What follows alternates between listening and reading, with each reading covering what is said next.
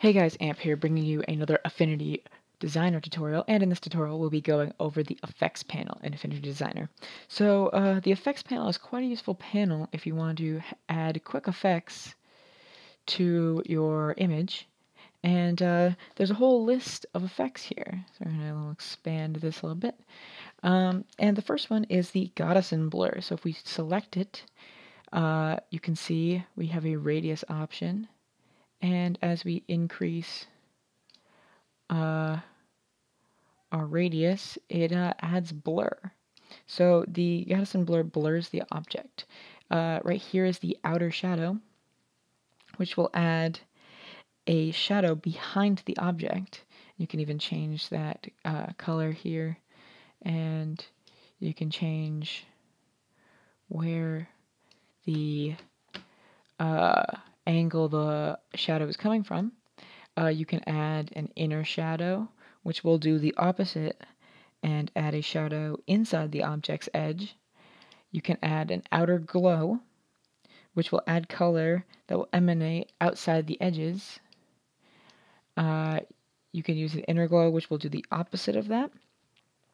Outline will create a sort of uh, outline on the edge of an object. Uh, 3D will add a 3D border around, making the image appear as if it is off the page.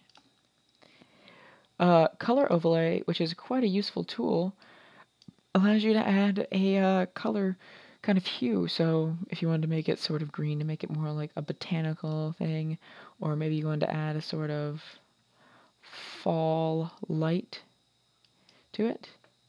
You can add color overlay and a gradient overlay kind of adds that uh, 3D image. So the effects panel offers uh, a bunch of different settings for applying and modifying objects.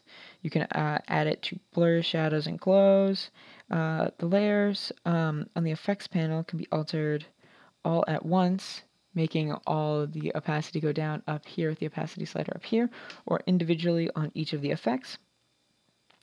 And uh, these are obviously non-destructive, and as soon as you click off, the effect is gone and uh, has no effect on your background image, so you can revert to normal.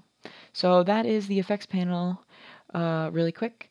Uh, if you like the video, give it a thumbs up and subscribe for more Affinity Designer and Affinity photo tutorials. Thanks for watching.